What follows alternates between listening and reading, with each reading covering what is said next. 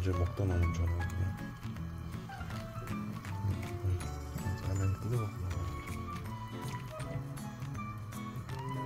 맛이 어떨까? 몰라.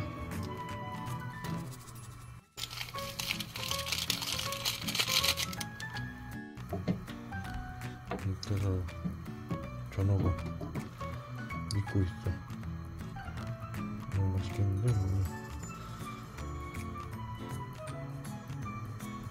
수치노트에서 받아온 된장을 좀 넣고.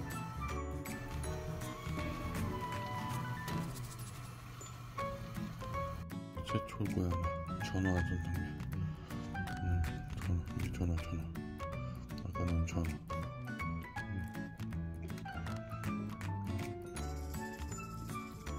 음, 먹을까? 음, 음 맛있나? 맛있어. 음, 약간